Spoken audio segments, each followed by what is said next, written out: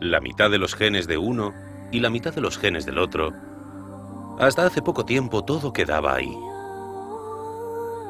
Los genes transmitidos de generación en generación podían variar por escasas mutaciones, pero permanecían como el firme patrimonio depositado en nuestras células.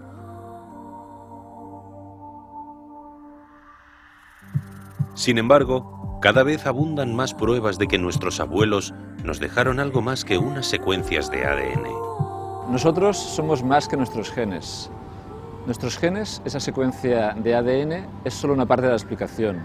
Hay algo más allá de esa genética y es la epigenética, las modificaciones químicas que se añaden a ese ADN.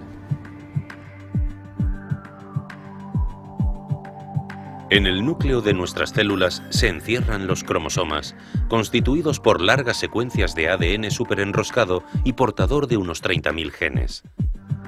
Un gen puede sufrir una mutación en su secuencia de nucleótidos, pero puede también verse modificado por la adición de pequeñas moléculas de metilo.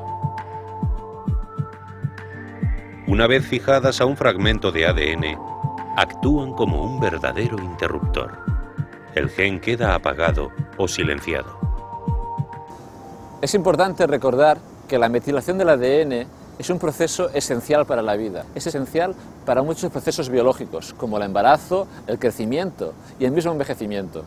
Las diferencias entre nosotros a nivel de ADN son mínimas. Quizá la epigenética explica las diferencias que vemos entre individuos y diferencias de enfermedades. Uno de los aspectos en los cuales conocemos mejor la epigenética es a nivel del cáncer.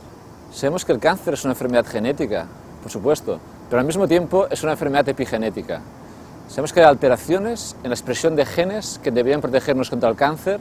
Esta alteración es debida puramente a un mecanismo epigenético. Cuando hablamos de que el cáncer es en cierta forma una enfermedad del ambiente, quiere decir que nuestro ambiente ataca nuestro ADN. Hasta ahora hemos pensado que ese ataque solo afectaba a los genes de forma genética, pero ese ataque a los genes puede ser epigenético, cambiando la metilación del ADN, cambiando la metilación de las histonas. Es bueno saber que a diferencia de la genética, Podemos modular nuestra epigenética con fármacos, de forma más sencilla. Hoy en día tenemos fármacos que reparan en parte los patrones epigenéticos.